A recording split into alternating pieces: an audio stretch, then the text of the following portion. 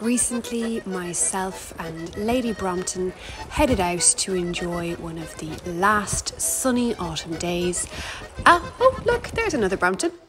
Uh, before the miserable winter blesses us with her horrible, harsh weather. Um, and then, yeah, this happened. Somebody stole my Brompton. So naturally, I ran after her, only to find out that she was the one who left me for another Brompton. But as I watched them communicate in their weird little ways, I thought, oh, do you know what? Maybe I'm just going to let Lady Brompton have some fun, you know?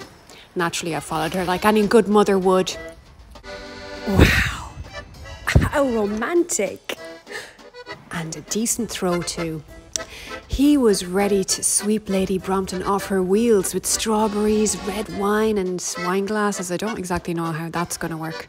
But as he beckoned her over, love was in the air. Ooh.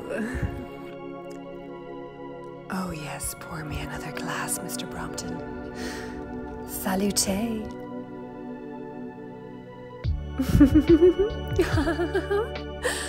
oh, oh, their first kiss. I mean, I think it's their first kiss. I'm not quite sure how Brompton's kiss. Anyway, Mr. Brompton was eager to show Lady Brompton around, and naturally she followed him. Off they went, and off I followed them again. oh, good God! Jesus, I don't even know if I can call you a lady anymore.